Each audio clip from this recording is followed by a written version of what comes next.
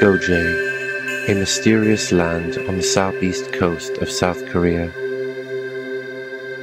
The climate is temperate and kept relatively warm by the influence of warm ocean currents.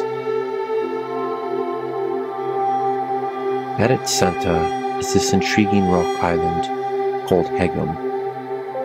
Boasting superb natural beauty, its mysterious cliffs tower over 300 feet above the sea. In ancient times, Chinese adventurers braved these high cliffs, pursuing a mythical, magical elixir rumored to provide eternal life. In 221 BC, late Chinese Emperor Qin Shi Huang ordered his subjects to locate this elixir that would make him immortal. 3,000 servants boarded 60 ships for this voyage and first arrived in Haegum. They were convinced this island contained that one and only plant because of the mystifying effects from these cliffs and rocks. The origin of Haegum's name is rooted in North Korean geography. The structure looks so similar to North Korea's Mount Geumgang. Haegum literally means Mount Gangnam in the middle of the ocean.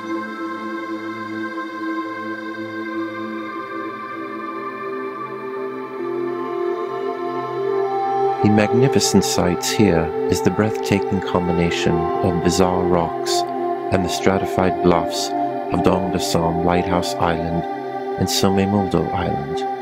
At low tide, one can walk from one island to the other.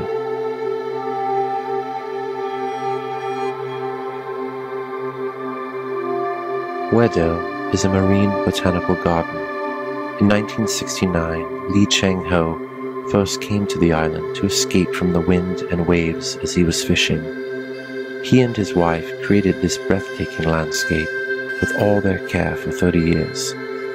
It is home to more than 3,000 plant species, including subtropical plants such as cactus, palm tree, Tanzania, and eucalyptus.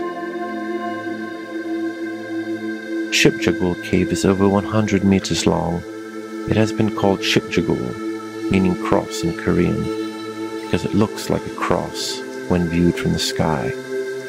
The height of the rock walls and the inside of the cave are so fascinating.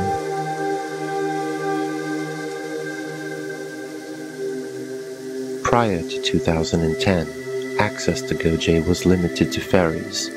With the completion of the dual bridges and tunnel system that comprise the Busan Geoje Direct Expressway link, access by both express bus and by car has been made significantly faster and easier.